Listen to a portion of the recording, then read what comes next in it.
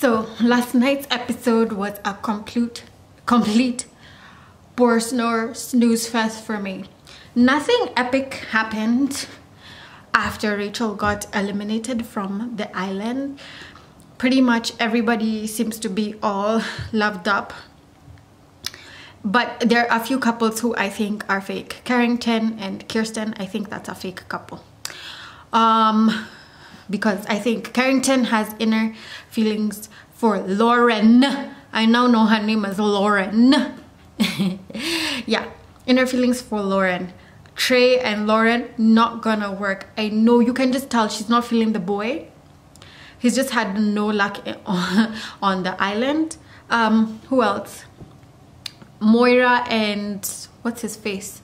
Calvin are mm, to be like a good couple but then during the episode calvin was like oh yeah you know i think we should take things slow just given how things have been going and i appreciate you wanting to keep that pace. However like for me i think it just gives me wants to it it makes me want to have the opportunity to get to know other people who are coming into the island and also to um, have chats with new people who might potentially come. Obviously, Moira was bumped by the whole thing, by that whole conversation, and you know, anxieties are coming in again. And whatever, it's Love Island, that's how it's supposed to go. We're not out here watching people bore us. We're trying to watch people fall in love, okay? And it's just like everybody is kind of getting friend zoned. They should call it friend zone island at this point. The only couple that seems to actually be hot and genuinely um, liking each other and going somewhere to me in my opinion is Justine and um, Caleb. I am so excited to see what that's going to look like. She got frisky with the guy. She's clearly feeling the boy and Sally and Johnny. I liked how like, you know, they're just doing cute couple things. Like he was doing her nails, giving her a mani-pedi. And I thought that was like absolutely cute and I just, I just love watching the process of them falling in love other than that i just think everyone basically is going to break up at some point unless like a new chick comes into the villa or new dudes come into the villa. It's basically just boring. Trey now predictions for the future. Who do i think is going to get dumped from the island? I think um, either Carrington and Kierstan are going to get dumped by the uh, from the island as a couple or Trey and Lauren because as viewers as viewers we're just not feeling their vibe. Oh and connor and mackenzie maybe those might be the first ones to go. So how during the episode it was open to the public to vote for the most compatible couple in our opinion. And then they said that the viewers i mean the couple with the fewest votes are going to get dumped so that's why i'm saying those are my predictions of the people who may be at risk of getting dumped from the island. Kierstan doesn't seem to be smelling the coffee that Carrington might jump ship. And I keep on talking about this. I've said this over and over and over and over again. And at this point, I'm so tired. I just want new people to come into the island because we have to get rid of the fakery out here in these streets.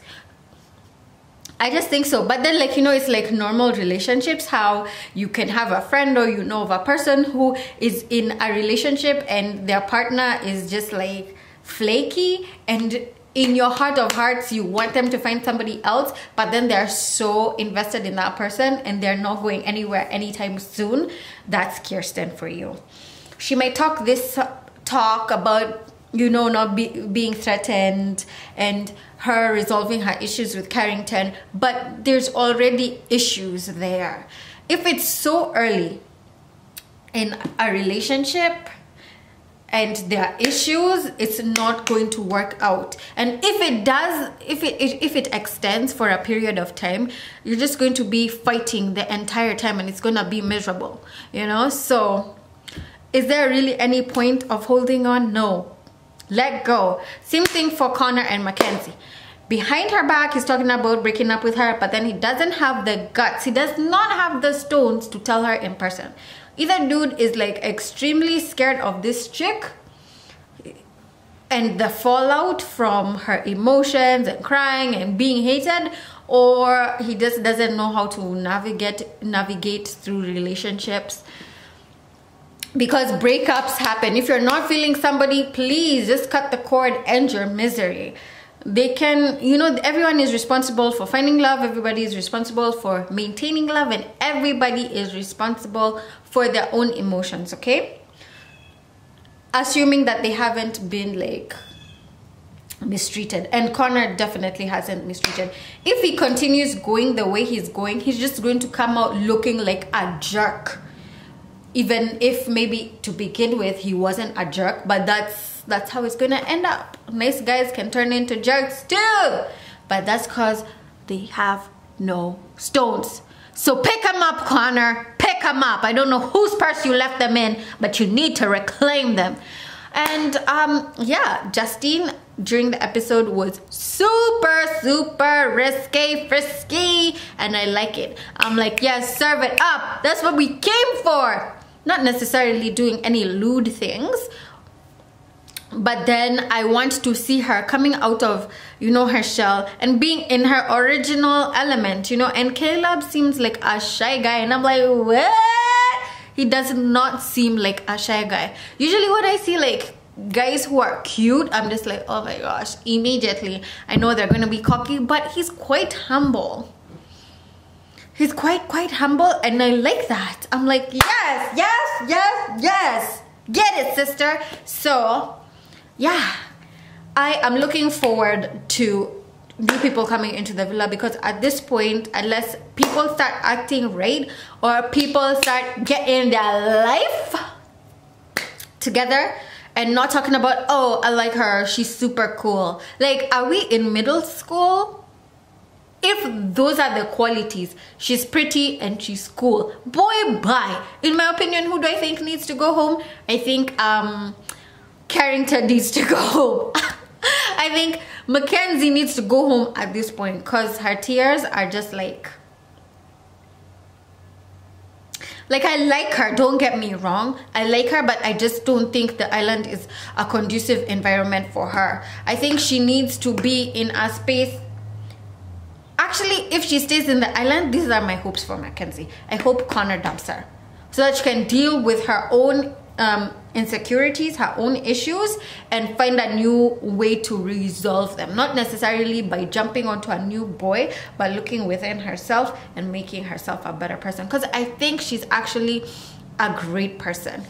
I think um, i think connor needs to dump um, Mackenzie for the same reasons. Like they're really good, they're a good couple, but then they don't know how to resolve conflict and that's not taking anywhere far anytime soon. That's that looks like an unhealthy relationship in the works.